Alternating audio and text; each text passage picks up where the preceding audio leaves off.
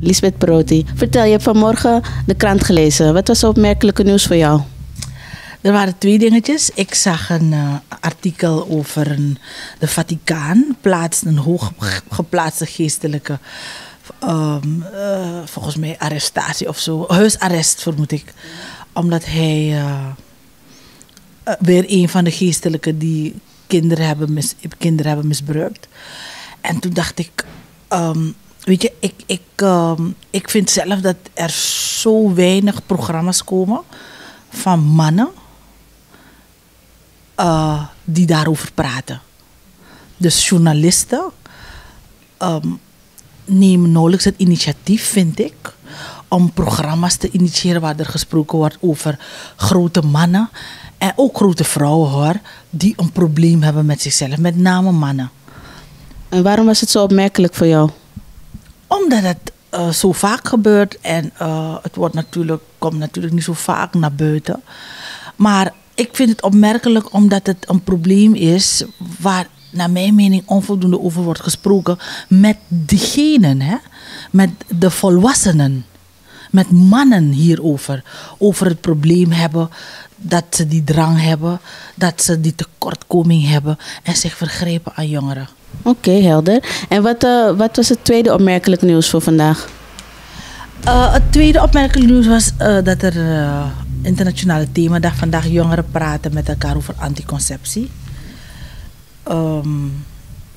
Ik, ik, vond het erg interessant in die zin dat het me even een, een even alert maakt om ook een keertje te babbelen met mijn kinderen erover. Ik, heb, uh, ik geef op verschillende niveaus les.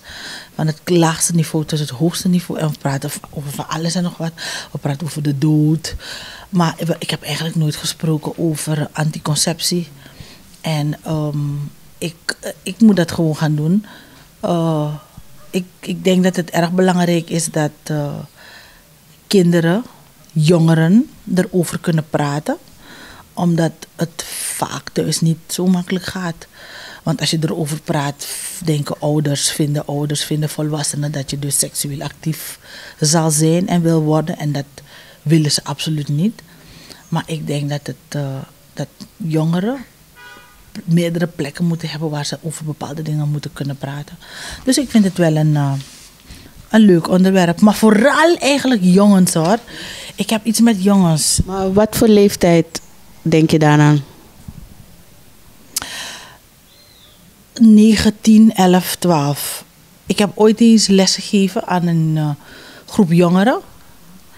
En um, die jongen was 9 jaar en hij vertelde me dat dus die condooms te groot waren.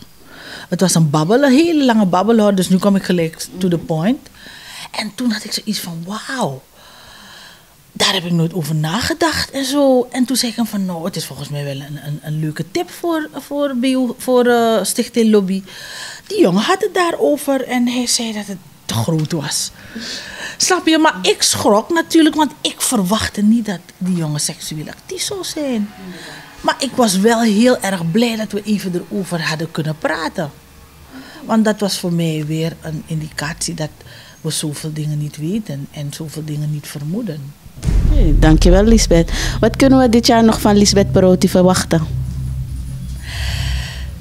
Werken weer, als gewoonlijk. Uh, leuke dingen doen, muziek, uh, educatie, publicaties. Uh, er zijn twee producties onderweg. Ergens eind november en begin januari. Ik vertel nog niet wat het wordt, verrassing. Ze zijn in de voorbereiding. Um, ook wat uh, publicaties, ook iets wat ik, graag, wat ik wil afmaken, dat is een solo CD met easy listening, met piano en zo. En um, uh, dingen gaan publiceren, lesmateriaal ontwerpen. Oké, okay, Lisbeth, bedankt voor het fijne gesprek en ik wens je nog veel succes verder. Dank jullie heel hartelijk en iedereen die kijkt en luistert. Een fantastische week verder.